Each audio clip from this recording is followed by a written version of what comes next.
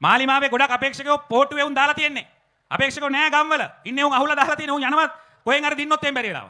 ඒ හින්දා ඔබතුමාලා ගලේ කෙටු වගේ ඉන්නේ උන් ඉන්නේ අපේ විජේවීරගේ පුතා වෙන ලයිස්තුවකින් දාලා ඡන්දෙ ඉල්ලන්න අවස්ථාවක් නැහැ ජේපී එකේ. නෝනට ලම්බුණු හම්බුණු ගෙදරත් ගත්තා. හරි සහෝදරේ. ඔක ඇත්ත කතාව. පුළුවන් ද ශ්‍රී ලංකාවේ උන්ට පෝට්ටුවේ උන්ට තමන්ගේ නායකයෝ උන්ගේ පෝ- කවුද? උන්ගේ නායකයෝ. බැසිල් රාජපක්ෂ ගෝඨාභය රාජපක්ෂ හූ කියනවා කිව්වොත් ගාලා මරනවා මිනිස්සු.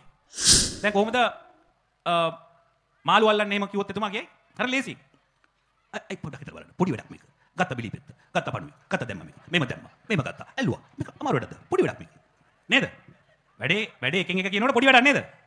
හැබැයි මාළුවෙක් අල්ල බලන්නකො බි- බිලිපෙත්තක් දාලා. මම try කරලා තියෙනවා. පැය පහකට එකෙක් අහුන්නේ. ගෙදර ගිහිල්ලා පොණ්ඩ එක ඇල්ලුවා ඊට පස්සේ අම්මා ගැව්වා මට. උපුල් සන්නස් කළා අහනවා කුමාර ගුණරත්නම් නේද කියලා. ඔව් එයාගේ සහෝදරයයි එයාගේ අම්මගෙන් තමයි ඊට පස්සේ අවුරුදු 4කට විතර පස්සේ මේ මට රූපහිනිය කියන්න බෑ. අහනවා කුමාර ගුණරත්න අඳුරනවද? මුණ බලන්නකෝ. නෑ මන් දන්නේ නෑ. කුමාර ගුණරත්න ඔබතුමා අඳුරනවද නැද්ද? නෑ මන් දන්නේ නෑ. එතුමා ඔබතුමාගේ සමාජිකද? නැහැ මේක ඉඳලා නෑ. දැන් බලන්න මේ දැන් ඊට උත්තර දෙනවා. දැන් බලන්න මේ පක්ෂයේ ඕන එකිනෙට ඉන්න පුළුවන්. හැබැයි මේ පක්ෂී සමාජිකයෝ නෙවෙයි කියලා ලස්සනට කතා කරන්න පුළුවන්. මම දැන් දවස් 11ක් 12ක් විතර මේ මැතිවරණ වේදිකාවට ඇවිල්ලා. පොඩි රැල්ලක් තිබ්බා ජේවීපී එකට. මොකද ජනතාව විශ්වාස භංගත්වයට පත් වෙලා හිටියා. බය වෙලා හිටියා. දීලා බලමු, දීලා බලමු කියලා හැබැයි මේක හරියට තේරුම් ගත්තොත් අත්දැකීමක් නැතුව පළපුරුද්දක් නැතුව කලපුරුද්ද පළපුරුද්ද දැනපුරුද්ද නැතුව සහෝදරනි කිසිම දෙයක් කරන්න බෑ. මම එක උදාහරණයක් දෙන්නම්. දැන් අපිට මැනික් මං දැන් ආසයි මැනික් වෙනදාම කරන්න. මම පොඩ්ඩක් ඔය මගේ යාළුවෙකුත් එනවා මාත් එක්ක මං පොඩ්ඩක් ගල් බැලුවා. මේක තේරෙන්නේ නැහැ මට. කට් එක මෙහෙමයි කියනවා පාට මෙහෙමයි කියනවා. මේක මට පුළුවන් ද මැනික් බිස්නස් එක පටන් ගන්න මම හොඳ මට හොඳ නුවණක් තියෙනවා.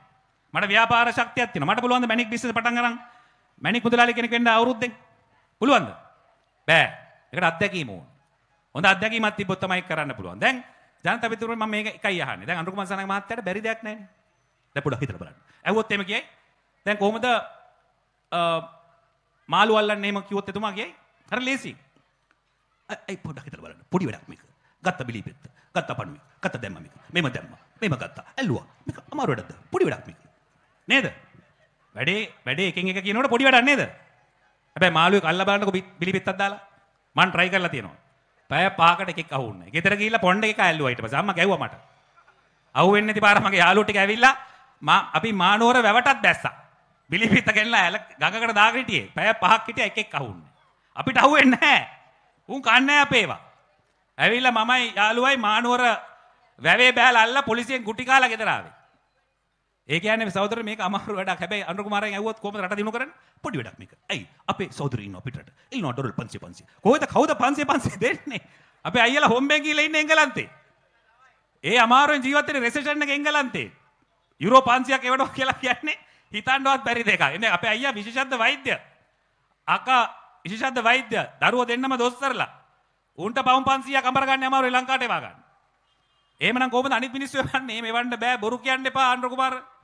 ඕම් පච ගන්න එපා. ගහන්නෙන් පචනේ. හැබැයි ඇත්තමයි කියන්නේ. ප්‍රශ්න අහනකොට පස්සේ මග හරනවා. අහන්නකෝ. දැන් කුමාර ගුණරත්න දන්නවද? ඔබතුමාලා දැක්කද? මම ඕනම් දාලා පෙන්නනම් අහුවෙයිද දන්නේ නැහැ ටීවී එකට. එතුමාගේ තියෙන වීඩියෝ එකක්. එතුමෙන් අහනවා උපුල් සන්නස් කළ. එතකොට එතුමෙන් අහනවා ඔබතුමා ඉංග්‍රීසි ඉගෙන ගත්ත නේද පොඩි කාලේ? මේ ඔව් පොඩි කාලේ කියන්නේ මේ දේශපාලන ආවට පස්සේ. එතුමා කියනවා ඔව් ඉගෙන ගත්තා. කායෙන්ද ඉගෙන ගත්තේ? අ, අපේ පාක්ෂිකයෙක් ඉන්නවා අපේ සහෝදරයෙක්. අ, ඒ සහෝදරයාගේ අම්මගෙන් තමයි හැබැයි හරියට ඉගෙන ගත්තේ නැහැ කියලා ඇත්ත කියනවා. නෑ ඒකට අපි hina වෙන්නේ නැහැ. ඉංග්‍රීසි හැමෝටම පුළුවන් වෙන්න ඕනේ නැහැ. හැබැයි ඉගෙන ගන්න ඕනේ. පුළුවන් නම් ප්‍රේමදාස මහත්තයා ඉංග්‍රීසි හොඳට හසුරුවන්න ඉගෙන ගත්තා අන්තිමටම. ඉතින් ඒ වගේ හැකියාවක් අපේ නායකයන්ට තිබ්බා. අනුරුකුමාර සනගේ මහත්තයා සම්බන්ධයෙන් මම ඒක කතා කරන්නේ. ඒක අ- අන- අ- අ- අවශ්‍ය දෙයක් නෙවෙයි මට. හැබැයි එතුමාෙන් ආ- එතුමා කියනවා කවුද ඒ කුමාර ගුණරත්න මෙතන උපුල් සන්නස් කළා අහනවා කුමාර ගුණරත්න නේද කියලා. ඔව් එයාගේ සහෝදරයයි එයාගේ අම්මගෙන් තමයි ඊට පස්සේ අවුරුදු 4කට විතර පස්සේ මේ මට රූපහිනිය කියන්න බෑ. අහනවා කුමාර ගුණරත්න අඳුරනවද? මූණ බලන්නකෝ. නෑ මන් දන්නේ නෑ. කුමාර ගුණරත්න ඔබතුමා අඳුරනවද නැද්ද? නෑ මන් දන්නේ නෑ. එතුමා ඔබතුමාගේ සමාජිකද? නැහැ මේ කෙනෙක් ඉඳලා නෑ. දැන් බලන්න මේ දැන් ඊට උත්තර දෙනවා. දැන් බලන්න මේ පක්ෂයේ ඕන එකිනෙට ඉන්න පුළුවන්. හැබැයි මේ පක්ෂී සමාජිකයෝ නෙවෙයි කියලා ලස්සනට කතා කරන්න පුළුවන් සහෝදරයෝ. දැන් සජිත් ප්‍රේමදාස මහත්තයා බොරුවක් ගහනවා නම් පචයක් කෙල්ලනවා නම් සුජීව සේනසිංහ තරත අතුකොරල විජේතුංග පච ගහනවා නම් ඔබතුමාට විශ්වාස කරන්න පුළුවන්ද? සුජීව සේනසිංහ කිව් එකක් අවුරුදු 10කට කලින් නෑම කියනවා නම් ඌව විශ්වාස කරන්න පුළුවන්ද? දිව දෙකේ උන් විශ්වාස කරන්න බෑ. එහෙම මිනිස්සුන්ට රට පාලනය කරන්න පුළුවන්ද? අදුම ගානේ කෙලින් කතා කරන්න ඕන. ඒ හින්දා සහෝදරනේ සුජීව සේනසිංහලා සදිත් ප්‍රේමදාසලා අපි ගැව්වක් ගලේ කෙටුවාගේ අපි වචන මට ආඩම්බරෙන් කියන්න පුළුවන් අපේ අපි අපි වෙනුවෙන් විතරක් නෙමෙයි අපේ නායකවරු වෙනුවෙනුත් අපි වක් කියනවා වෙන කොයි පක්ෂේ තමන්ගේ නායක වෙනුවෙන් වක් කියන්නේ? නායක වෙන කතා කරන්නෙත් නැහැ විජේවීරගේ පුතා වෙන ලයිස්තුවකින් දාලා ඡන්දය ඉල්ලන්න අවස්ථාවක් නැහැ ජේපී එකේ. නෝනට ලම්බුණු හමුණු ගෙදරත් ගත්තා.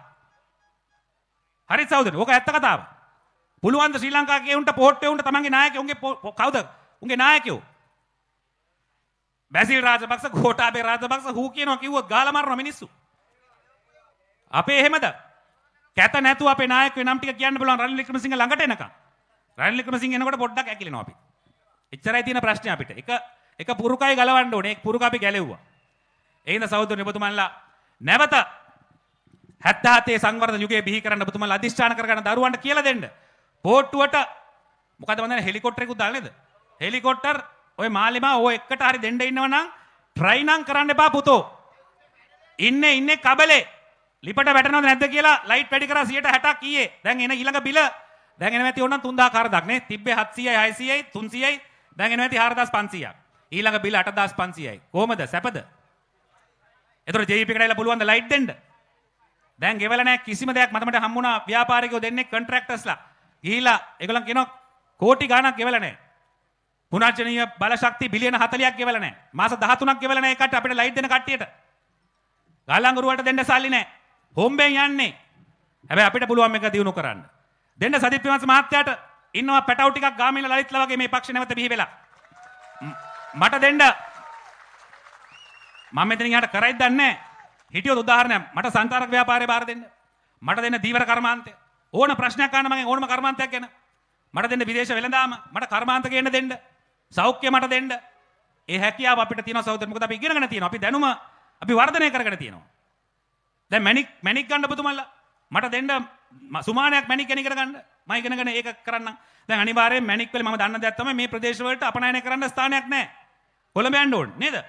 මේ සෙන්ටර් එකක් දැම්මොත් ගෙනාවා එතනින් ගත්තා. ඔන්ලයින් එක්ස්පෝර්ට් කරන්න පුළුවන්. අපි මේක රත්නපුරයට මේ රත්නපුරේ දිස්ත්‍රික්කයේ හැම තැනටම දෙන්න ඕනේ ශාඛා දාලා.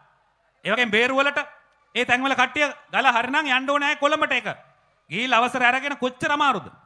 ඉතින් මේවා කරන්න පුළුවන්. හොරකම් කරන්න. ඒ වගේම ඔය පතල් පතල් හාරන්න ඒ ලයිසන් හරියට ක්‍රමානුකූලව දුන්නා නම් කොච්චර අපිට ගල් හම්බෙනවද ඒවා ඉවර වෙන්නේ නැහැ හාරන්න හාරන්න තව හම්බෙනවා හැබැයි ආ- ආණ්ඩුවටත් ආදායමක් ගන්න ගාම අපේ මේ ජනතාවට දෙන්න ඕනේ අවස්ථාව හොරකම් කරන්න නැතුව පගා ගන්න නැතුව ඔබතුමාලා අහලා තියෙනවා සදිත් පෙන්දාස් මන්ට පගාව කියලා තියෙනවා කියලා.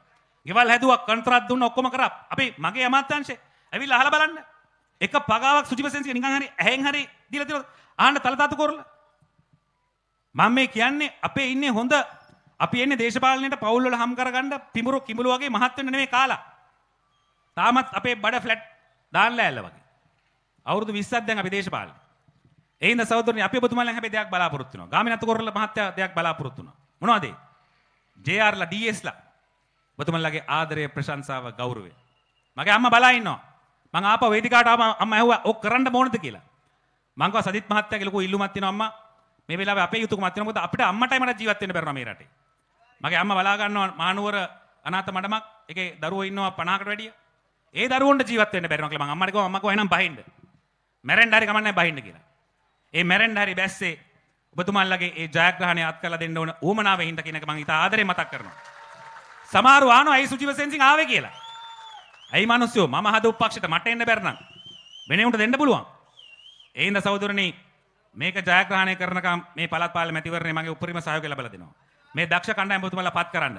මම මේ කියන්නේ පොහොට්ටුවට මාලිමාවට හරි දෙන්න හිටියනම් අහලා බලන්න අනුර කුමාර දිසානායකට මොනවද කරන්න පුළුවන් කියලා. එතුමත් එක තරහ නෑ මම.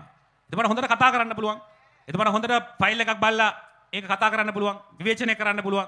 හොරකමක් තිබොත් ඒක දක්වන්න පුළුවන්. ඒ ඒ ඒ දක්ෂතාවය එතුමාට තියෙන අපි නෑ කියන්නේ නෑ. හතරක් පහක් දේශ අනිවාර්යෙන් පාර්ලිමේන්තුවේ ඉන්න ඕනේ JP. මං ආසයි JP සහෝදරයෝ හතරක් පහකට.